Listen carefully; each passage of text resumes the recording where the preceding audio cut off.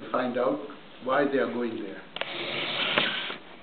So, there is a change.